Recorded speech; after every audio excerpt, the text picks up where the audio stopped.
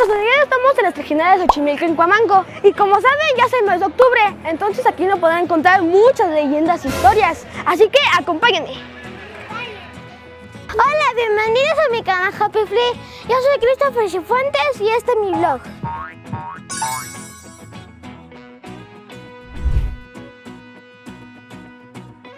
Amigos, lo primero que tienen que saber los precios. Por ejemplo, nosotros vamos a ir a la isla de las muñecas y tienen que pagar las 5 horas, que son 3 mil pesos. Entonces les recomiendo que vengan con muchas personas para que valga la pena y puedan repartirse el dinero entre todos. Así que, pues sigamos.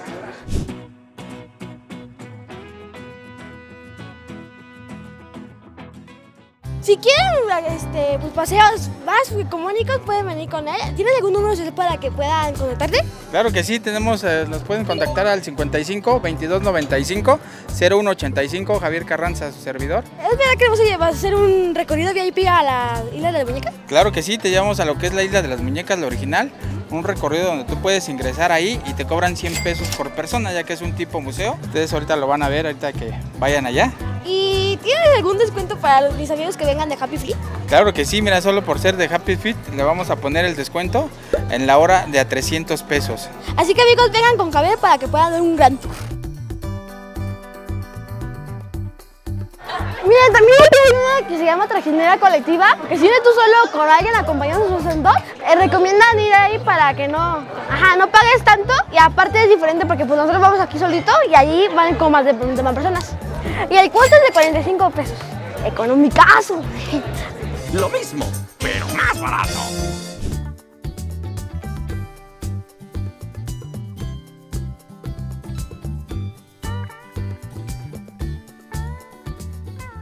Amigos, en el camino pueden encontrar de todo, por ejemplo, mariachis, mini souvenirs, un montonazo así de cosas, plantas. Genial así con su barquito chiquito ahí vendiéndote de cosas. Está súper padre. Miren amigos, hasta, se- hasta pueden encontrar unas cosas bien cercas, bien. Hasta hay un perrito ahí.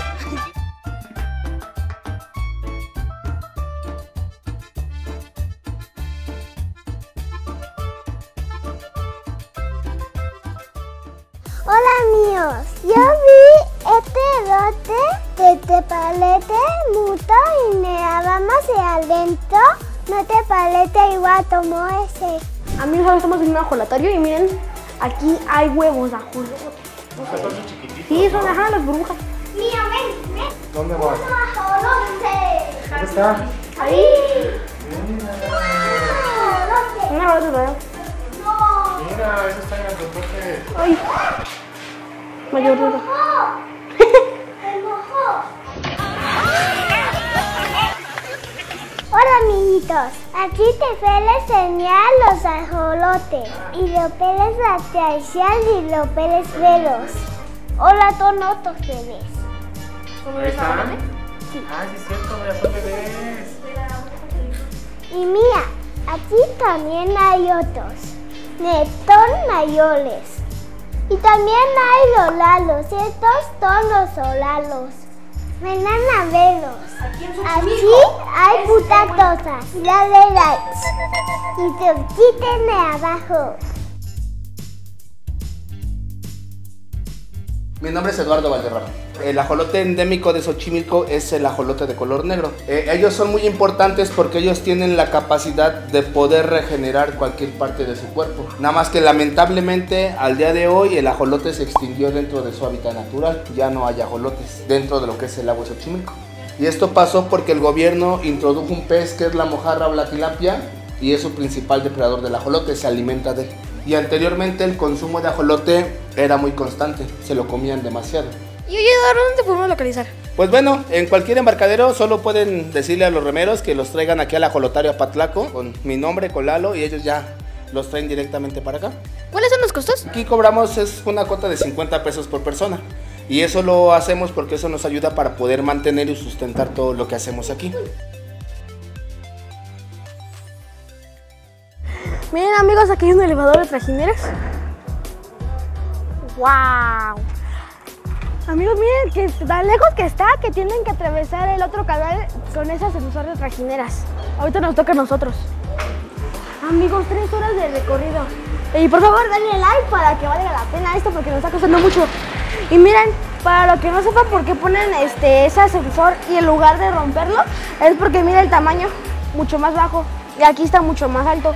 Te están diciendo que se inclinó. Así que amigos, acompáñenos en este largo este, viaje para la isla de las muñecas. Ay, ay, ay, ay, ay, ay. Wow, ya, ya nos bajaron. Sí, ay, ponte. ¡Qué miedo! Sin miedo. Está turbio y sospechoso. Parece de cocodrilos. Miren, desde aquí empieza lo tenebroso de la isla de las muñecas. Guaca, guaca. ¡Ay, qué miedo! Yo me voy. Mira, le voy a hacer un, un, este, adelanto. Eh, bueno, el dueño de la chinampa era don Julián. Nos dice la leyenda que encontró una niña en la esquina que se había ahogado. Y dijo que se había ahogado por lirios, miren. Entonces, como no pudo salvarla, había dicho que se sentía atormentado. Entonces empezó a poner este, muñecas en todos lados para que se alejara o se distrayera con las muñecas. Que agarraba de todo, de la basura y así. Entonces ahorita vamos a ver toda la historia completa. Así que sigamos. Es una zona ecológica, por eso está súper tranquilo, no como en la parte turística que hasta parecen este caritos chocones de pam, pam. Está súper tranquilo y disfrutas tu, tu gran viaje. Y también se ve muy tenebroso porque pues está tranquilo y somos los únicos aquí. Amigos, hemos llegado a la isla de las muñecas. Y tengo mello. Oigan, traje mi chamarra de cazafantasmas. Miren. Ay, casi me caigo, pero no importa. Miren, tiene reflejante. Tiene acá YouTube. Y por cierto, vayan a mi página que se llama www.pulgafeliz.com. Super padre. Miren amigos, ya estoy preparado para entrar. Así que, pues acompáñenme.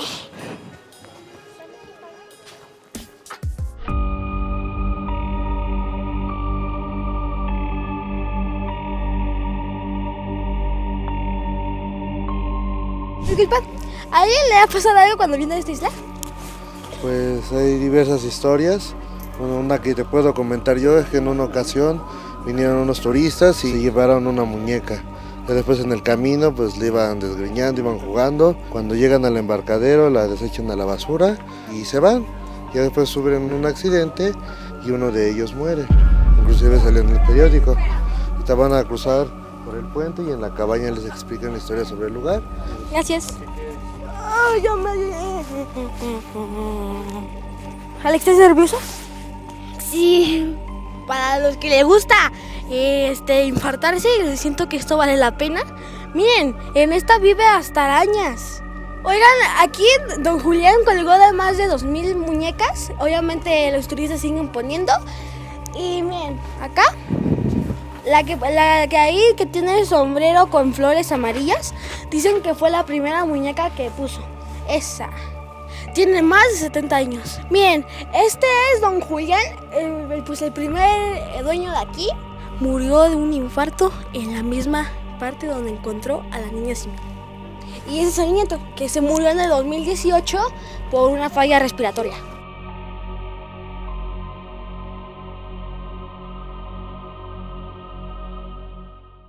Estamos con Rogelio, es este nuestro. ¿Eres el guía?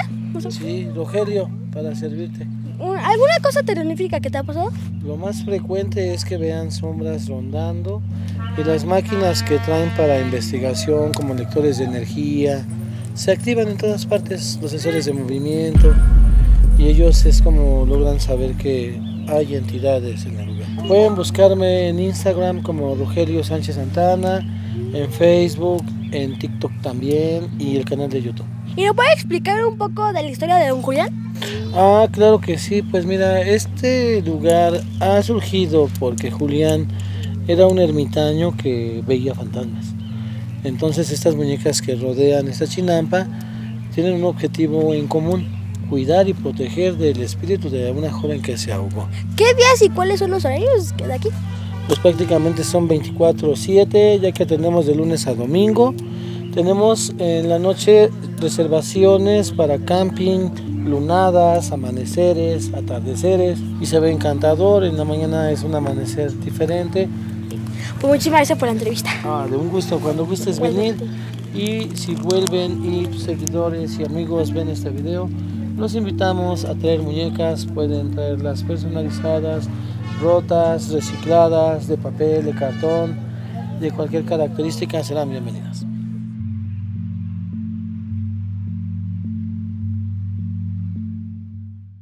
Miren, aquí está la foto de los famosos. Aquí obviamente está Luisito Comunica, está Tim Burton, está La Parca, ¿eh? Chessman. ¿Dónde? Sí es cierto. Piensen la vida antes de llevarse una muñeca o maltratarla, porque miren, hasta en el periódico salió que unos turistas se llevaron una muñeca y tuvieron un accidente mortal. Aquí pasaba ahora don Julián hablando con sus muñecas. ¿Crees que hablen? ¿O no? Aquí sí da una sensación bien extraña.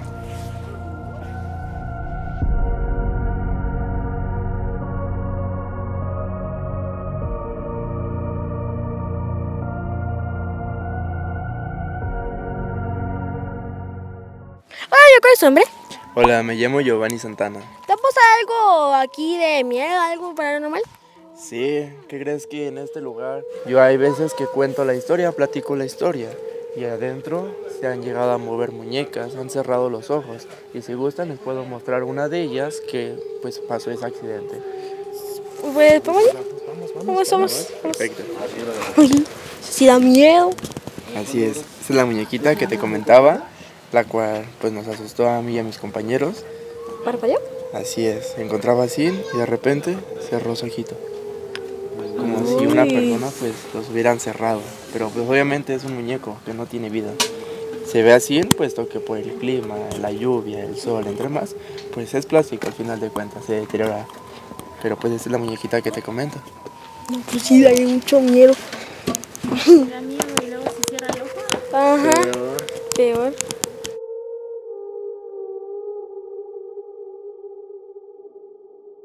Les voy a mostrar unos donativos un poco curiosos, los cuales nos han traído algunos personajes.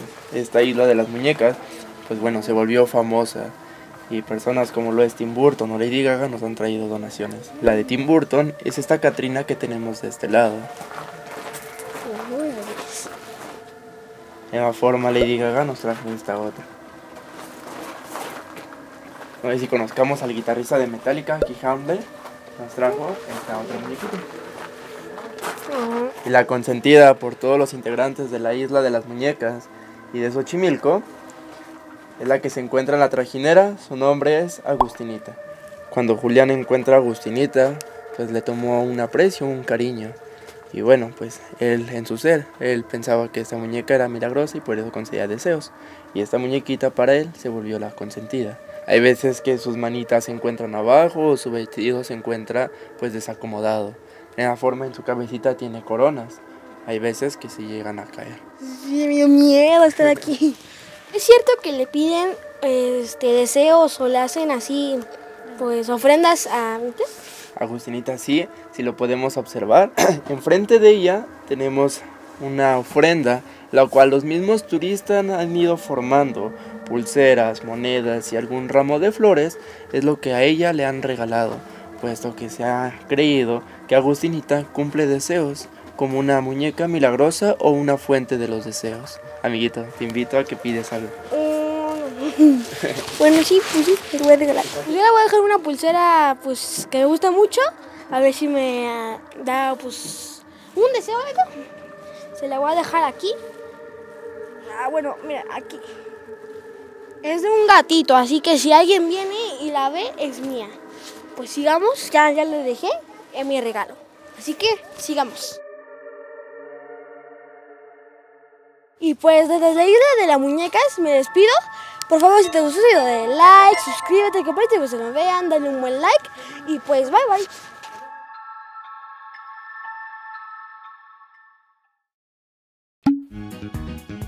Amigos, ahora estamos con Javier. ¿Cómo? Muy bien, muy bien, bien. Ay, ay, ay, ay, ay, ay. ¿Se te toca un heladito? Pues pídeselo. Los de